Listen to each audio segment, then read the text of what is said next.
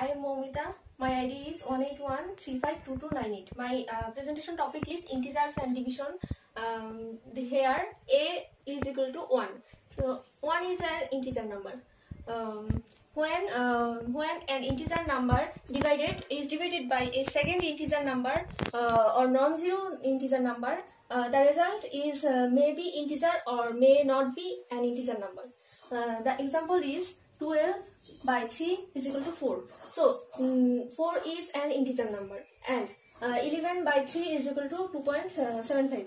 Here, uh, 2.75 is not an integer. When uh, two integers numbers division is not an integer number, we can write uh, like that. And uh, when uh, two integers numbers division is an integer number, then we like write like that. If A and B is B by A equal to C implies B equal to AC. No. This is a division rule.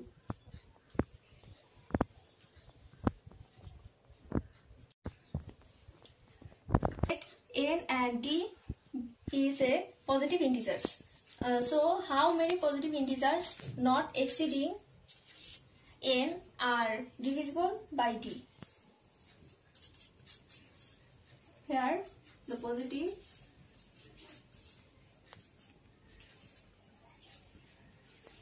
which is which is uh, exceeding n which is not exceeding n. Uh, so we uh, write we write this um, uh, this positive integers like 0 greater than oh sorry less than dk less than n. Or 0 less than k less than n by d.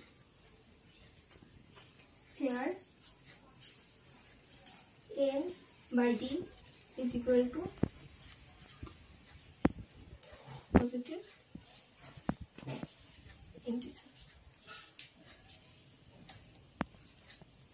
Uh, there are many rules of this division. The another rules of division is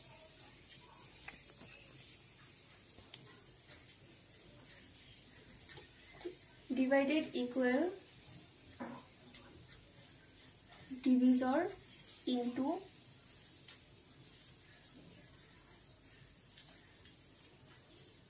quotient plus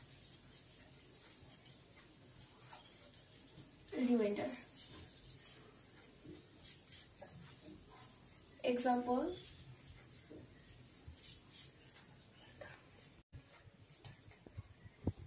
Here 2 is uh, the remainder, 9 is quotient 11, 11 is divisor and this 101 is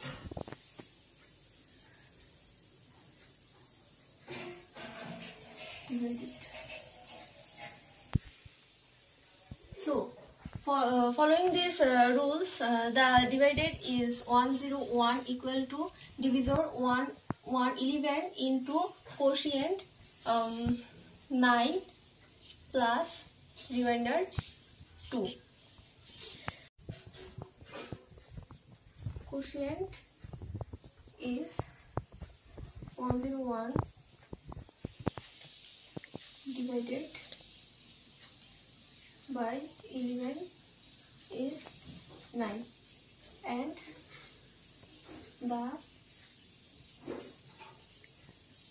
the remainder is 101 mod 11 equal to 2 uh, this is the so this is the main rules of the division and uh, we for uh, from this rule we can uh, we can uh, take uh, divided divisor quotient and remainder